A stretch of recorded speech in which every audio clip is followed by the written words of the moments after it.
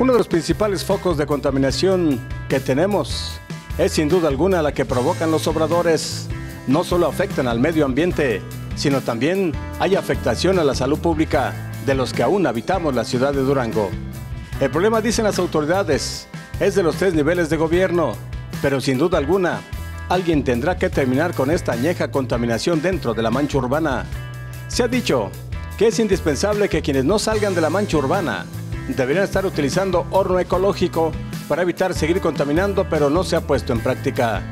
También existe un nuevo espacio para las ladrilleras que se busca comprar en la zona oriente, fuera de la mancha urbana, pero que no se encuentre lejos de quienes compran ladrillo.